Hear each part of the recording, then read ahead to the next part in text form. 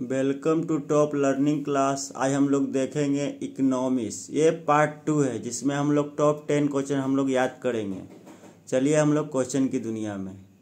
पहला क्वेश्चन है, आर्थिक विकास के बारे में जानकारी हमें किसकी परिभाषा से मिलता है? सैमुअल पीटरसन से। पहला क्वेश्चन है, आर्थिक विकास के बारे में जानकारी हमें किसकी परिभाषा से मिलता है? सैमुअल पीटरसन से। आगे, किसी वस्तु या सेवा के उत्पादन के लिए कितने साधन की आवश्यकता होती है? चार। कौन कौन भूमि, श्रमिक, पूंजी, उद्यमी। आगे, किसी वस्तु या सेवा के उत्पादन के लिए श्रमिक की आवश्यकता होती है या नहीं? क्वेश्चन है थ्री में, किसी वस्तु या सेवा के उत्पादन के लिए श्रमिक की आवश्यकता होती है या नहीं? होती है। आगे। किसी वस्तु या सेवा के उत्पादन के लिए भूमि की ज़रूरत होती है या नहीं? हाँ होती है। यस। आगे। किसी वस्तु या सेवा के उत्पादन के लिए पूंजी एवं उद्यमी की ज़रूरत होती है। या नहीं? हाँ होती है।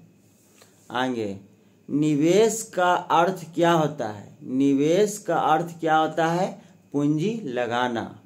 आगे, विनिमय का अर्थ क्या होता है? खरीद बिक्री करना।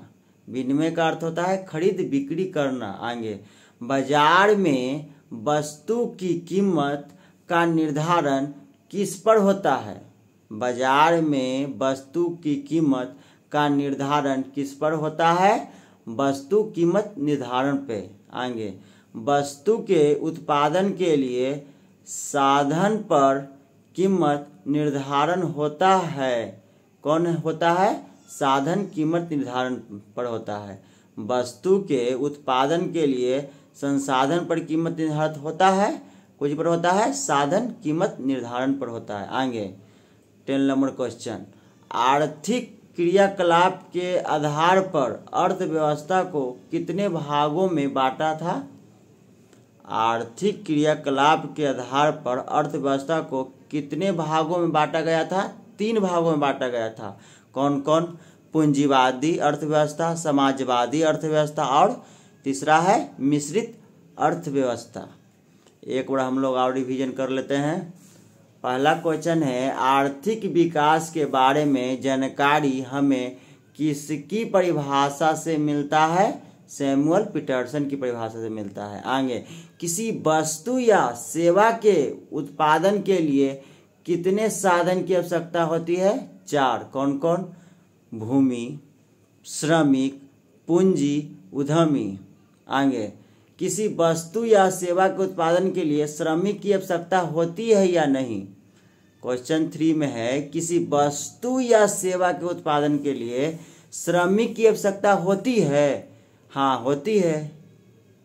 आगे, किसी वस्तु या सेवा के उत्पादन के लिए भूमि की ज़रूरत होती है या नहीं?